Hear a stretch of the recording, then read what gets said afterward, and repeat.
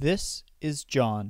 John goes to UCSD. John has been watching the news and sees that his friends may give him a new flu called H1N1 or swine flu.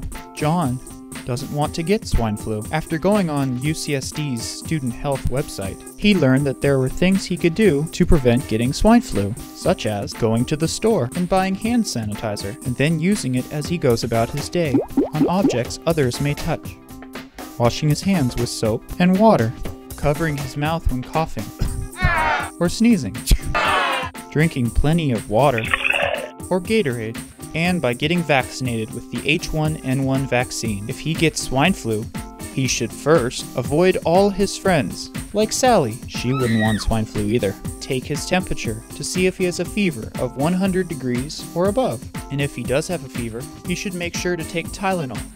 Stay hydrated continue to stay at home, or at least six feet away from other people if he needs to go out. And if he's getting any worse, he should come in to student health. He should know, though, that if he has any questions, he can go here, studenthealth.ucsd.edu, or by calling 858 534 3300.